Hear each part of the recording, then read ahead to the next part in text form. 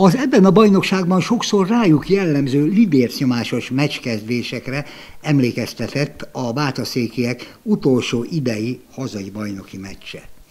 Úgy dominált a fehérmezes hazai együttes, hogy közben nem egyszer hátul csúnyán fellazultak.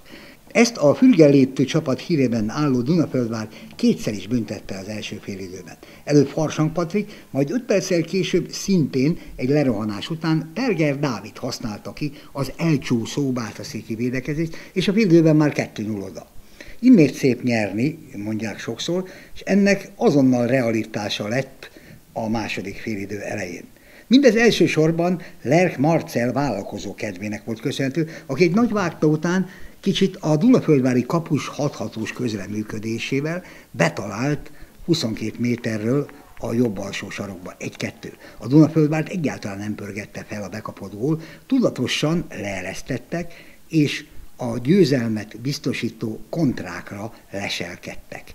A bátaszék ettől és önmagától is lendületbe jött, előbb Faller egy szerencsésen megpattant szabadrugás góljával kiegyenlítettek a hazaiak, és ebbéli lélektani előnyöket kihasználva továbbra is nyomás alá helyezték a hatodik helyzet foldvárjakat. A sors igazsága, hogy a bátaszéki támadó játékban második félidei becserélésével lendületet adó Fürst József lőtte, mint utólag kiderült, a bátaszéki győztes volt.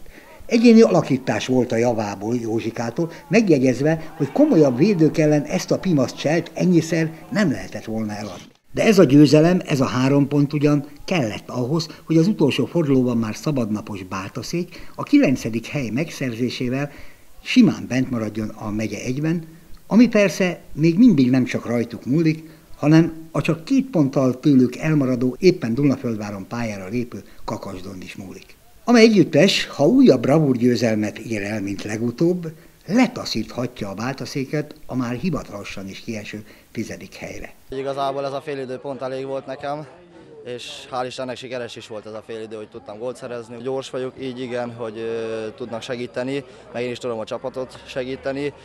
Hát ö, igazából az edzés látogatottság ez látszik rajtam, hogy ö, nem annyira vagyok még a fitten.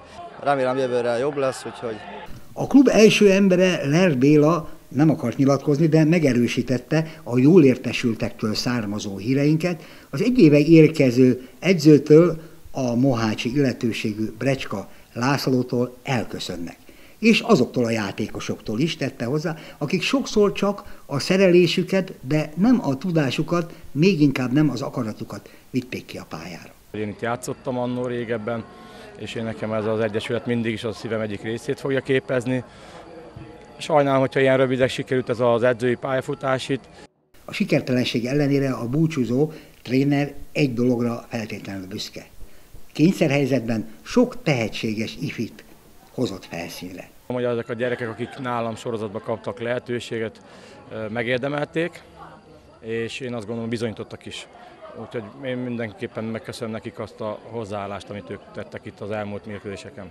Több név is közszájon forog az új edző szemét illetően. Jó esély van arra, hogy a valamikor Bonyhádról induló és játékosként az nb is eljutó Zsók József legyen a befutó.